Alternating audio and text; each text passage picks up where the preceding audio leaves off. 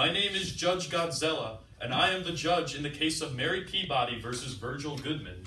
This is a civil trial in which Mary Peabody claims Virgil Goodman improperly took her personal property and should be compensated.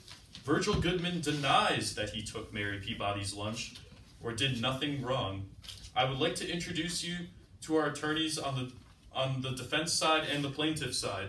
They will be represented in the in these proceedings. Here, here may we have the plaintiff uh, introduce themselves. Just say.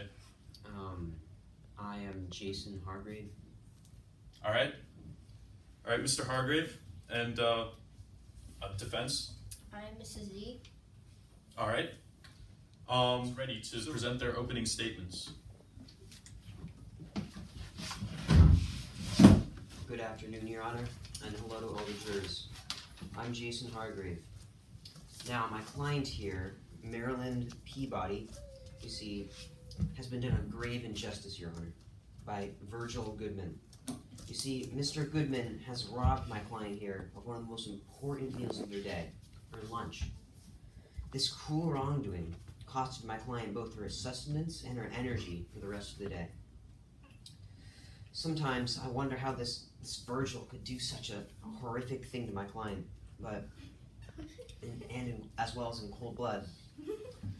Now the defending side is going to try to do their best to save um, Virgil from his eventual doom, but there's you can't argue with the truth.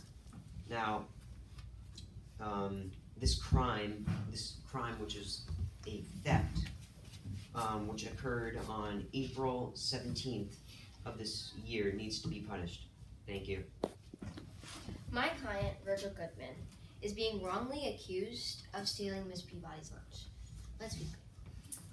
Virgil Goodman is a good student, and he might get in trouble sometimes with the teacher for making funny faces, but doesn't mean that he's the reason that Miss Peabody's lunch was stolen. I'm sorry for that your lunch got stolen, but I don't think that it's okay for you to go around and pointing fingers at everybody and listening to every rumor that you hear.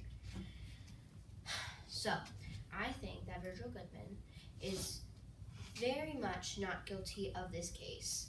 And you will soon see that Miss Peabody has been trying to get Virgil Goodman in trouble for some quite some time. So it's not abnormal for this to have happened, and she took advantage of the situation. So obviously, as you will see in the next couple testimonies, it will be obvious and clear that Virgil Goodman is not guilty of this crime. But in reality, we don't even giggle. He just makes funny faces at me, and that's it. The whole truth and nothing but the truth. Yes, I do. All right. I swear. Someone swear. Witness, you may proceed with your testimony, and plaintiff, after you may proceed with your direct examination. Okay. Um, in your um statement, you said that the uh, the trip in which Virgil took uh, the lunch boxes to the cafeteria took normally takes five minutes. Yes, How is that? How does that five minutes compare to the time it took Virgil to um take it down to the lunchroom? Don't tell Jack. It wasn't a like giant He's objection. On what grounds? No, you're just an objection. Because it seemed. It's a misleading question. And it's hearsay. There's no exact stats, and it's not an exact fact. Sustained. You're on thin ice, counselor. Um, how did Virgil act when he returned to class? Uh, he was like giggling and uh, laughing a lot with his friend Joseph Cool. When I inquired, they refused to tell me. Okay then, thank you.